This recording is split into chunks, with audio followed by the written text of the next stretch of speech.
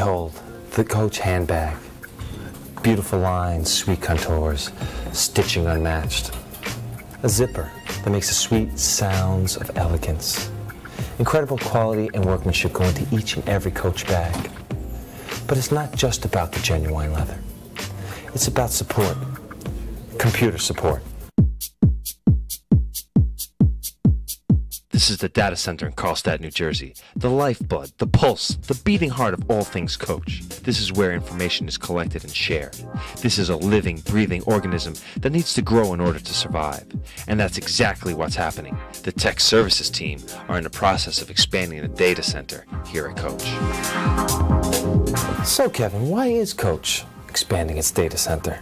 Well, the primary reason is due to power. We have a 150 kVA UPS and a 275 kVA generator holding about. Is anybody following what this guy is saying? This computer system's so complex. Diesel fuel will only provide. Is it hot in here? I, I gotta get out of here. 92% utilization. That means at any given moment, we're subject to a power spike that could cause an outage. You see, the data center is running at maximum capacity, and there's a strong possibility in the future there could be a meltdown.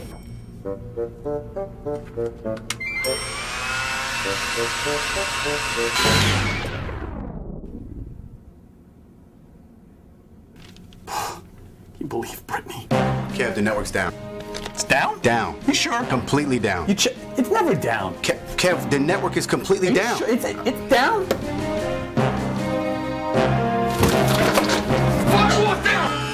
Don't worry, the data center isn't actually down. But if it were, it might actually look something like this. That's why the expansion project is so essential. And that's why Robert Baxter, the head of some important department, is on the case.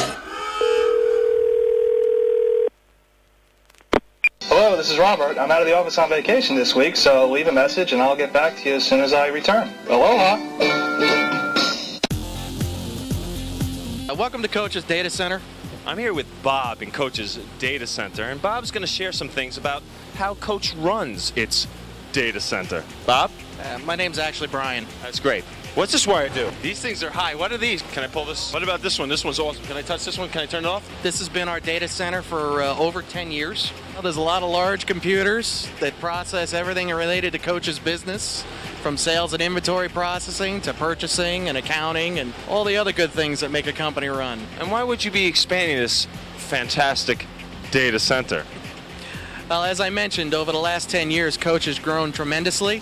And if you look around, we have no longer got any available space to add more equipment.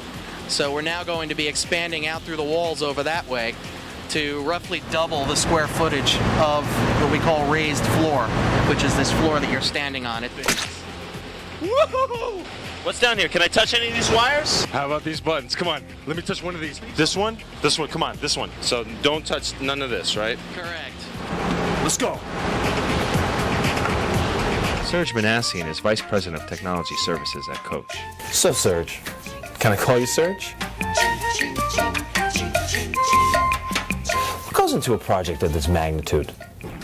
Well, in addition to the typical technology aspects of the project, we've also been meeting with um, a number of outside consultants. Uh, we've had an architect involved in laying out everything from the space to uh, floor tiles to ceiling tiles, and an IT consultant helping us lay out uh, the actual rack placement, HVAC placement, uh, cabling placement, and on a weekly basis have been going through numerous iterations of prints and drawings and all sorts of design. I, I think we need to go a little bit more to the left. It's gotta be I left. think it'll, No, no, it'll no, kind of fit right, better right, if we right, kind of right, come. right. It's It's not not going to work work that way. that way. Come on, Jim. Quiet down, I'm trying to concentrate here.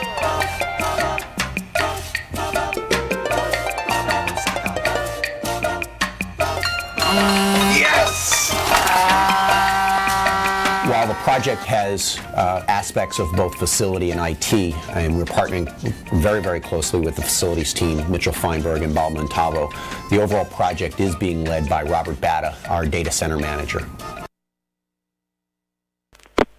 Hello, this is Robert. I'm out of the office. So, Jim, tell me how the people have been handling the inconvenience from this construction project. I spoke to Jim Lozano. He's Director of Client Services. Yeah, this has been a major project here in Carlstadt. and We've had to, you know, move a few people around, find some new space, move people to some new offices. Uh, some people were a little inconvenienced, but it wasn't a problem at all. Good morning, Chris. Good morning, Kevin. How are you today? Good, how are you? I'm fine, thank you. We need to get that fixed today. Listen, do the trace route one more time. I need to make sure these servers are up to date. All of Coach's critical data is stored in the data center. And one of the pivotal components to that are these tape drives, or large tape libraries with robotics in them, which back up all of the data. Could you please not touch anything? Danger! Danger, Will Robinson! This place is awesome! Danger! I support all of Coach's international offices from a technology perspective. They rely heavily on the systems in the data center to support their, their growing business. This project will enable that they can continue to grow at a high rate. I know that the tech services team is, is on top of every issue, every cable, every server, everything uh, around the clock, and that this project will uh, provide greater capacity for us to continue growing. You guys seen Robert? Oh, hi, Brian. Yeah, no, he, uh, Robert is actually in Bermuda. Bermuda? Yeah. Oh, lucky him. I didn't realize he was on vacation. Yeah. Okay. Thanks. What's this one? Part of the uh, data center expansion project, we've also been doing a lot of consolidation. We don't need this anymore because we stopped using it a couple of weeks Really? ago. Really? So if you threw this out now, you could put another computer in here, possibly. That is correct.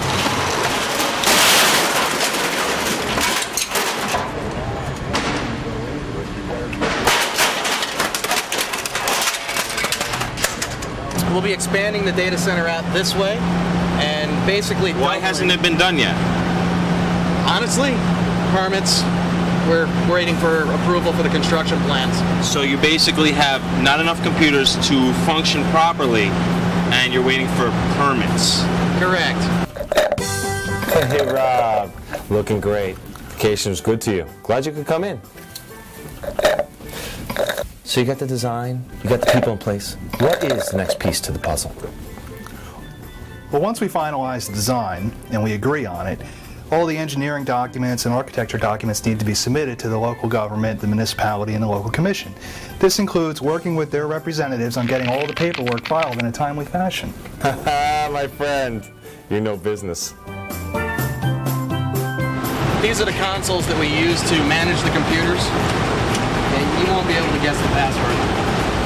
it's something easy like coach Really?